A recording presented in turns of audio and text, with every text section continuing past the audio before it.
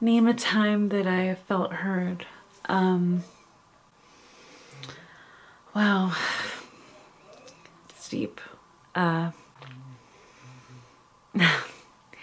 I think it was Fat Bastard that said a quote that I'll never forget. Um, he said, after uh, letting a massive fart go, he uh, inhales with such pride.